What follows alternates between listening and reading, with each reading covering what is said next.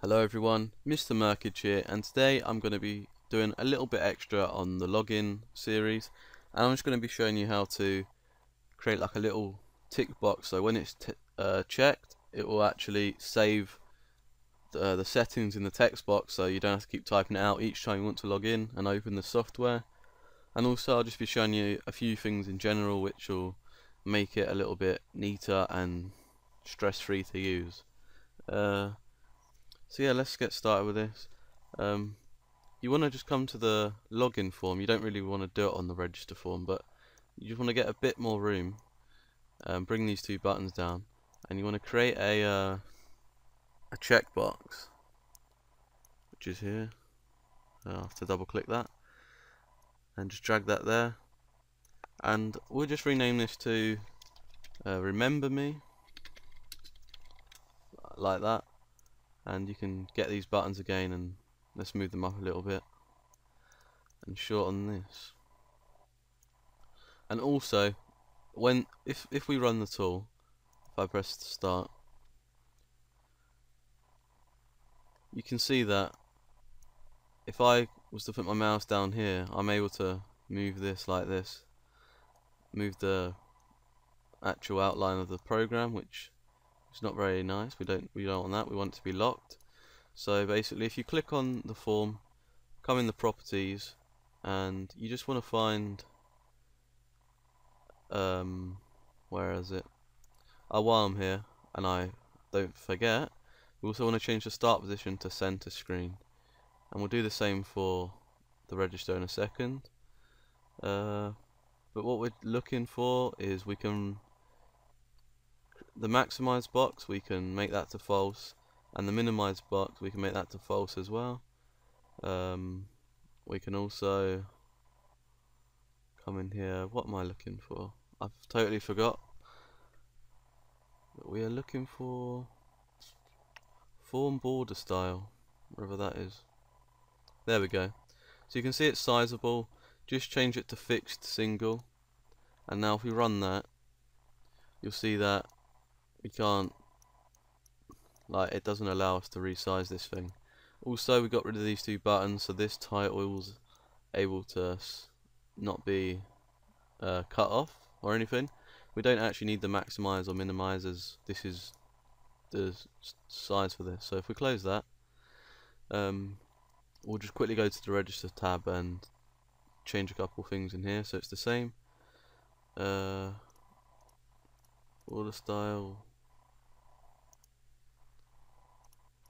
Fix single and we'll also just just change the start position to center screen.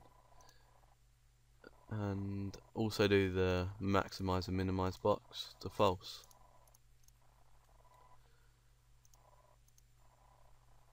oops. So yeah let's leave that as that. And now back to what we was originally doing. Uh, let's go into the code. Uh, I believe it's form 1 and if we go into well let let's double double click the form so we get form load. And you'll see where it says load up here. If you uh, come down in this drop down tab we want to look for form closing so go up to F and you want to find form closing and uh, tick that so it loads the form closing function uh, but if not, you can obviously just type out this yourself. Inside here, we just want to say if checkbox one dot checked is equal to true, checked is equal to true, then basically you want to do my dot settings dot save pretty much. So that will save everything. And underneath here, we just want if check box one dot checked is equal to false then we just want to reset it so it's not saved. So we, we just do the same sort of the same thing. My dot settings dot save. And sorry not save we just want reset.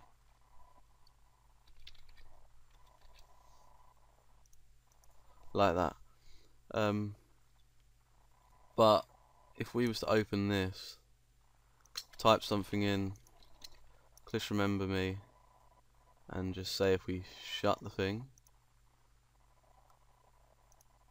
uh, like that, if we was to reopen it, nothing would save in these boxes because we actually have to do something on the text boxes real quick. So if you come into the form one, click on the text box. Now if you scroll down to um, application settings and press a little plus sign, uh, if you just click here, you'll in property binding and uh, click on this little three dots here.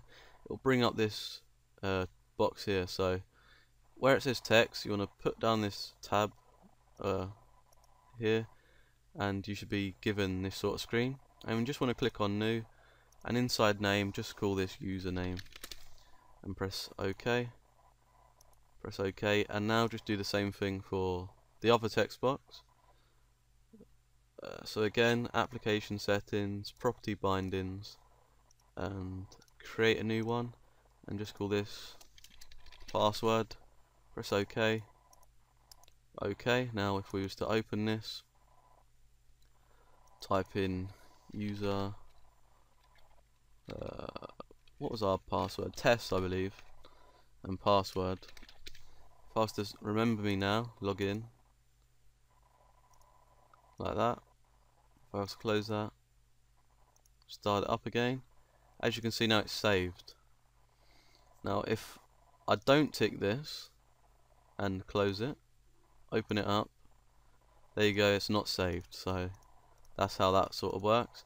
And also you might notice that if we type in the password box we can actually see what we're typing which usually with password boxes you don't want to see so if you click on the text box again and we just want to look for the password character uh, which is in here somewhere. Password character. Now this can be what you want but usually we'll just do the little star. And if we was to open that again if we type in this password box we cannot see what we're typing now. So that's another little thing that some of you may want so yeah that's all really. I just wanted to show you a little a few more little things um, which make it a tiny bit better and not so bad looking. But again this is going to be the end of the series for the login system anyway. Uh, so if you did enjoy it, please be sure to leave a like and a comment, and I'll see you next time.